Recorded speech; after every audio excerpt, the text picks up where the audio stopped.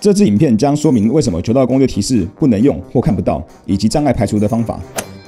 一、手表在比赛模式或大致模式下，比赛模式或大致模式下无法使用。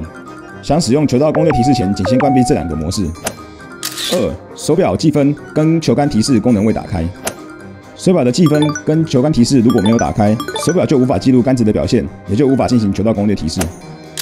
三、手表不足五场球局资讯。新手表需至少记录五场球局资讯，才可以进行球杆推荐。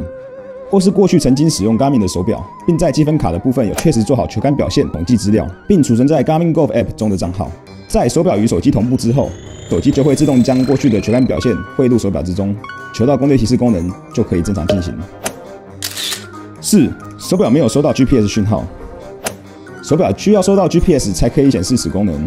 球道攻略提示在您每移动五公尺就会自动更新资料，所以请务必确保 GPS 连线正常。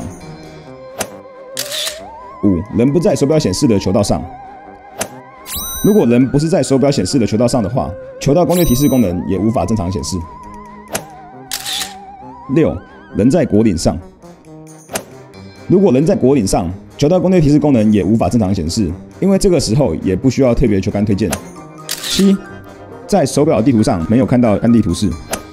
在手表上没有看到干地图示，可能是因为球道攻略提示功能被设定为手动。需在手表球道地图页面时点选右上方的按键，并选择询问球童后才会看到推荐的球杆。或者你也可以将球道攻略提示功能设定为自动，之后就会自动显示在球道下方地图。八、手表与手机未配对，建议在使用球道攻略提示功能时，手表与手机配对，这样手表才可以取得最新的球杆资讯更新。若没将手表和手机配对，球道攻略提示功能如有足够的球杆资讯之后能可运作，但就无法计算风速资讯对球杆所造成的影响，并做进一步的推荐。以上就是今天的球道攻略提示功能障碍排除教学，希望大家都可以更愉快的享受高尔夫。谢谢您的收看。